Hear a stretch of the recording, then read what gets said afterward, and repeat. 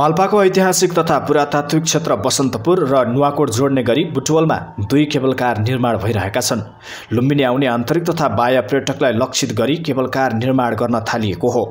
पाल्पाको तिनाउ गाउँपालिका तिन स्थित बसन्तपुर र वडा नम्बर दुईको नुवाकोट गढी जोड्न तिनाउ नदीको वारिपारी बेस स्टेसन राखेर बुटवलमा लुम्बिनी केबल कार र सिद्धार्थ केबल कार निर्माणको काम तीव्र पारिएको छ।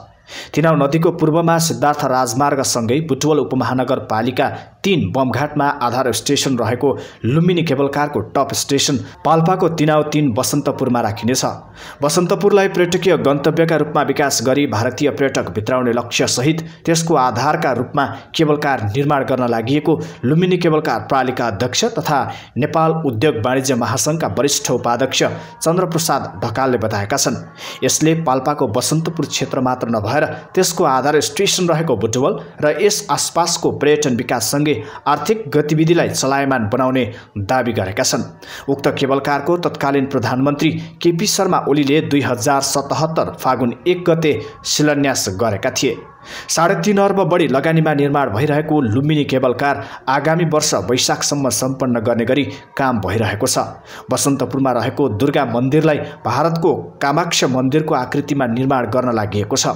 यहाँ आउने पर्यटकलाई बसाउनका लागि रिसोर्ट पाँच तारे होटल र उद्यानसहितका संरचना बनाउने काम भइरहेको छ। पाल्पाको बसन्तपुर डाँडामा एक सय पचास कोठासहितको पाँच तारे होटल बन्दैछ। लुम्बिनी केबल कारमा पच्चिसवटा गोन्डुला रहनेछन्। एउटा गोन्डुलामा आठ यात्रु चढ्न मिल्छ।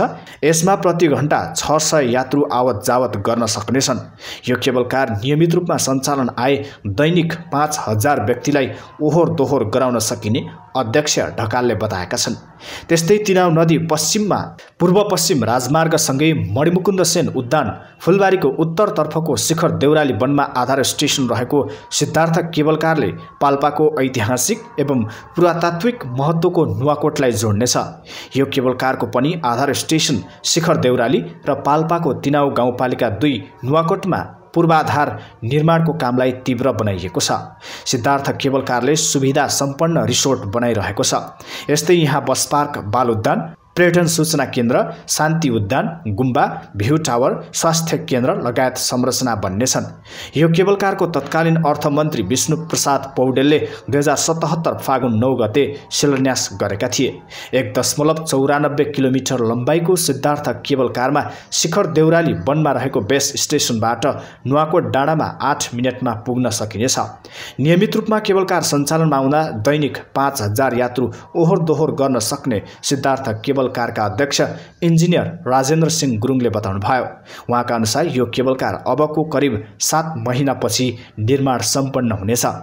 केबल कार निर्माणसँगै रूपन्देहीले दुई ठुला पर्यटकीय गन्तव्य पाउन लागेको उल्लेख गर्दै बुटवल उद्योग वाणिज्य सङ्घका अध्यक्ष उज्जवल प्रसाद कसजुले केबल कार सञ्चालनमा आए यहाँको आर्थिक गतिविधि थप चलायमान हुने विश्वास व्यक्त गरे।